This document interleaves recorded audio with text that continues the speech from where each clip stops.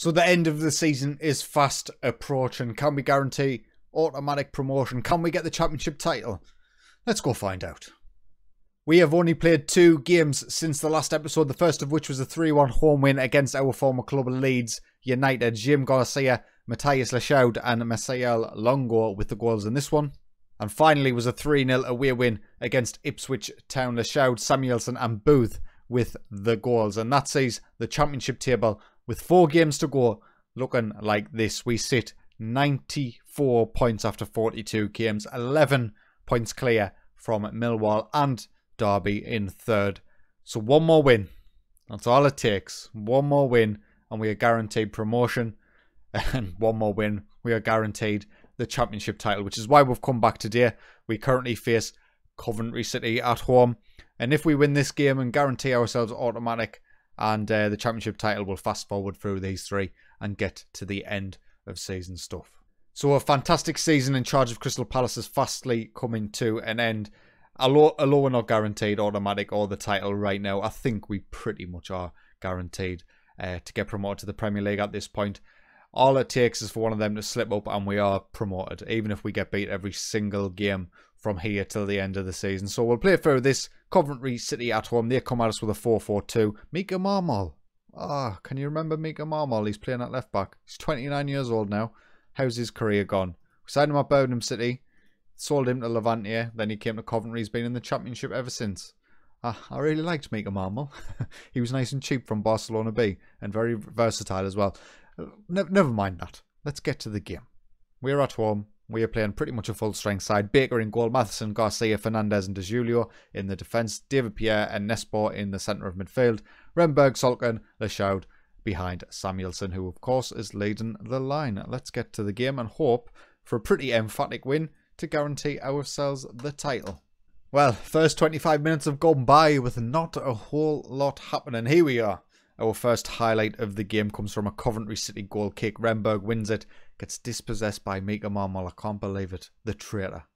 Nespor picks up the ball in the centre of the park. He drives forward and gives the ball away incredibly sloppily. And now Coventry City are likely to be on the attack. Unless they give the ball away like they've just done Lachoud. Plays it through for Samuelson. That is a great save by the Coventry City goalkeeper to keep things at nil-nil. And there's the first half done. Crystal Palace nil, Coventry nil.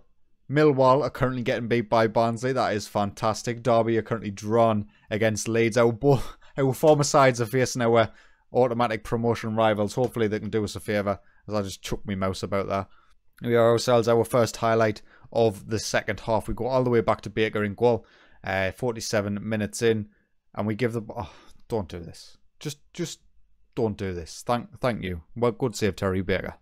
Coventry again coming down the right-hand side. Budsworth to short to, to Johnny, back to short, it's cleared, and Salkin can now drive through the centre of the park, finds Jacob Samuelson, who does one. Can he get past the other one? He can't. He just goes for goal instead, and he hits the post, and he can't follow it up. Corner for us. Samuelson plays it into the back post. Garcia is there. It's over the line. Is he off? He's not offside. Oscar Renberg's sixth goal of the season puts us 1-0 up 59 minutes in. Now, that was a goal mouth scramble, if ever I have saw one. Samuelson playing it in. Great save by the keeper initially, and then Renberg just slides in, makes sure it goes over the line. Coventry now in possession, 63 minutes in, in the defence. They try to clear it. Johnny wins the header, and they're playing it about quite nicely in the midfield. We're closing them down pretty well, and we're keeping our shape, so I think we're going to win the ball back. And there's Matheson winning the header down to Salkin. And then losing the ball to Abe. Of course he does. And Johnny's in behind. That is a terrible, terrible strike. 15 minutes to go. Can we hang on and guarantee ourselves the championship title? Salkin plays it to Renberg in the box, who switches the play to De Julio on this left-hand side. Lachoud's in the box to Salkin. It's a shot is blocked, and uh, it's going to be a corner kick. Jacob Samuelson is the man to play it into the back post. It's cleared by Coventry. With only 10 minutes to go, we will make our changes. Luke Matheson can come off for Pat Saki Denley. Jim Garcia can come off for Nacho Gonzalez and uh, De Julio can come off for Oliver Kirkwood at left back. Time is just ticking away, Coventry. If you don't want us to win the league, you're going to have to do something about it pretty quickly. And they aren't. Crystal Palace are the championship winners. We are back in the Premier League and we have a huge summer transfer window ahead of us. What is Matheson doing right there behind? why, why is he just standing on the centre circle? why? Listen, He may he might just need a moment. You know, he might be have a bit of social anxiety, not want to stand around the lads while they're celebrating. Uh, let, let's move on. We'll play the final few games off uh, camera. I'll show you the results, and then we'll just recoup and re uh, rewatch, not rewatch. Uh, what word are you looking for, Sam? Recap our end of season stuff. But before we do that, the board have set the initial budgets. What's your guess? I'm hoping for 50. I'm probably going to get about 35. Let's see what they're saying in terms of the budgets. They are saying 47. I will take that. I'm very, very happy with that. 47 million pounds, 700k in the wages. That'll give us about 270k. Wipe some of that out for yearly wage rises and promotion stuff. Maybe around 180, let's say. Um, that gives us a great, great momentum going forward. 47 million. If we can negotiate with the board, get this transfer revenue made available from player sales up, we will have a real chance of making a great squad at Crystal Palace. So we'll quickly just review the final three games of the season. The first of which was an away win against Sheffield Wednesday. Gilbert Leroux with the brace and Jacob Samuelson with one in a 3-1 away win. Next up was a 3-0 away win against Sunderland. Oscar Remberg, Jacob Samuelson and Matthias Leschaud with the goals in this one. And then finally was a 2-2 home draw against West Brom where Calvin Salkin got himself sent off and Oscar Remberg got a brace. And this is the final championship table uh, before the playoffs. We are promoted alongside Millwall who also got the other automatic promotion spot. Derby really did fall off in the second half of the season, ended up finishing in fourth. Barnsley in third, so they could be joining us in the Premier League. Burnley and West Brom complete the playoff teams. Leeds had a very poor season, finishing in 12th. There is still two games left to go in the Premier League, and Huddersfield are sitting in fourth. Champions League football without us in charge that would be fantastic. Birmingham City sitting in 8th, Nottingham Forest sitting in 10th. Eddie Le getting a top goal scorer at the moment. That is absolutely fantastic. Uh, I wonder how Gorka Calvo is actually getting on. Yeah, he's looking just as good. I think they've been playing him on the right hand side rather than up front. And he's got 12 goals and 3 assists in 35 Premier League games. Currently wanted by the big clubs.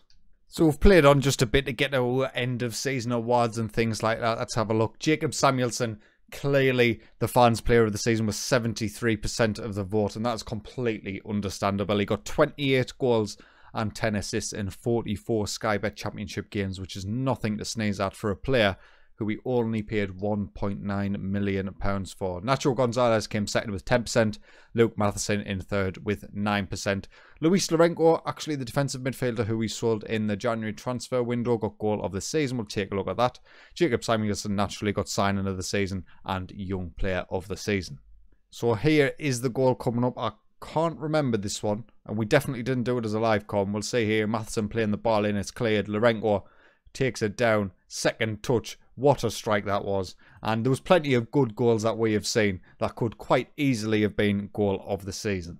So here's our season review. Crystal Palace had been expected to be in the running for a playoff place, but performed even better than expected by finishing top of the pile as champions. It was a season of unlikely yet jubilant success for the Eagles, who consistently defied the odds from the outset and were eventually crowned champions. That is a lovely little, uh, lovely little thing there by goal. I like that.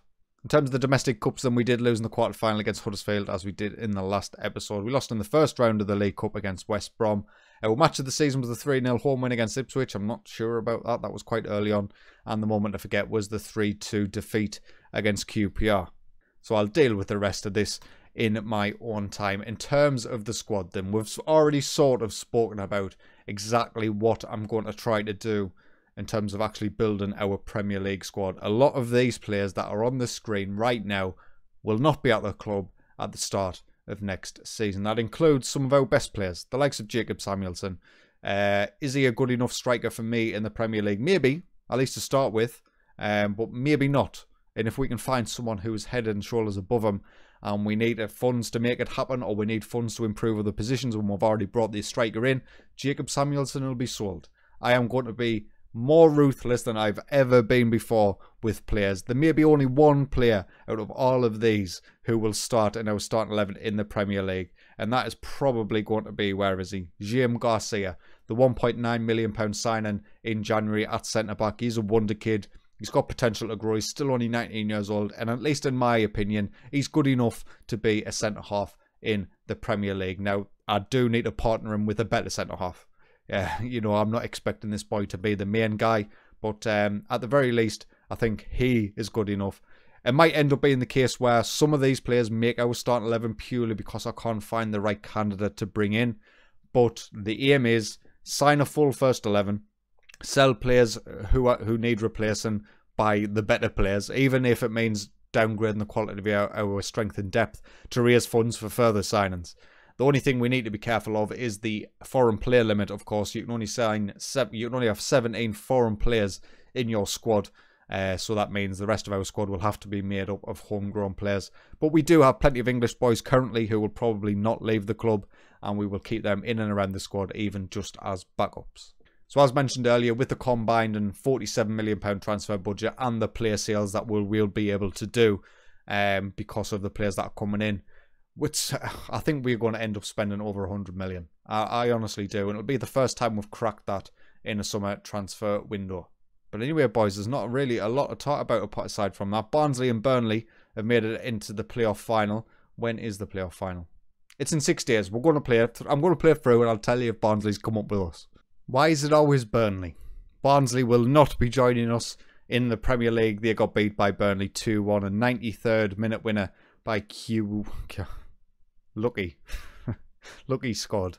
And uh, Barnsley remain in the Championship alongside Leeds for next season. But anyway, boys, that is enough for today's episode. If you have enjoyed it, please consider leaving a like. And if you are enjoying my content, get yourself subscribed. But until next time, take it easy.